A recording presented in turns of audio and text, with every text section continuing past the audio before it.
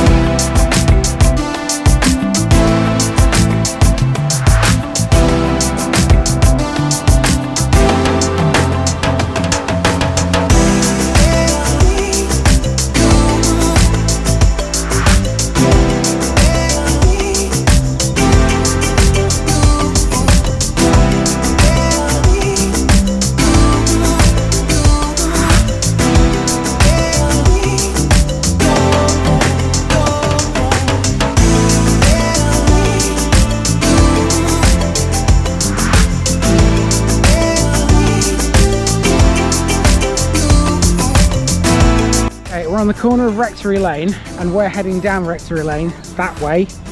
Uh, that way is Old Bawtry Road and if you followed that you would come to another uh, viewing area for the airport sort of like the one I did in the Austerfield video uh, but we're not going to go down there and see the same thing again um, so we're going to go down Rectory Lane and see the church instead.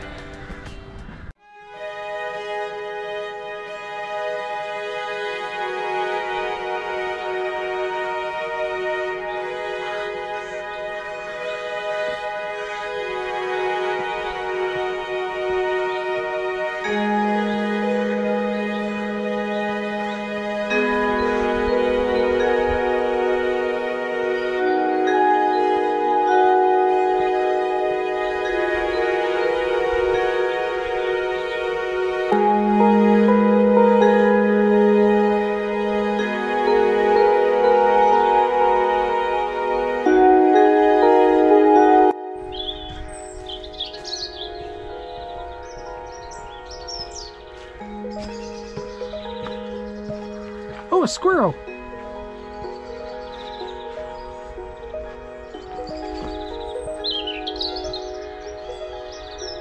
I don't know whether the camera can pick it up, but uh, there's a squirrel that just ran straight in front of me and up this tree. totally unexpected.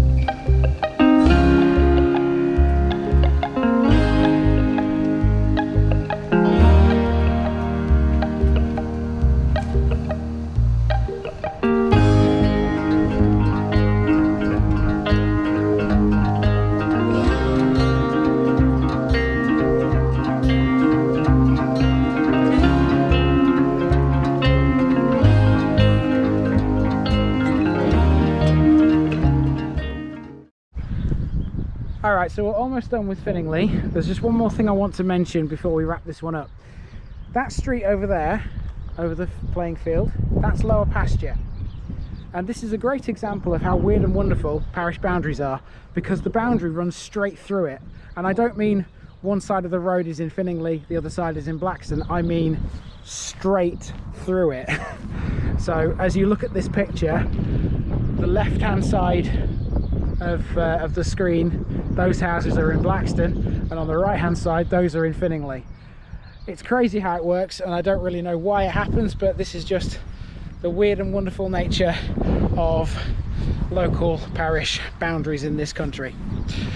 That's about it for finningley as i uh, walk out of finningley playing fields which is uh, yeah a lot bigger than i thought it was. I've never actually walked across it before. I've walked around it a few times on the roads and uh, things like that but never actually through it before. So uh, quite surprising to see just how big this is. That's just about it for uh, for finningley and i hope you've enjoyed this one. It's been a nice walk around and i've seen some stuff that i didn't even know existed in this place too. Yep and i'll see you next time. This has been finningley and i've been the village idiot and i'm out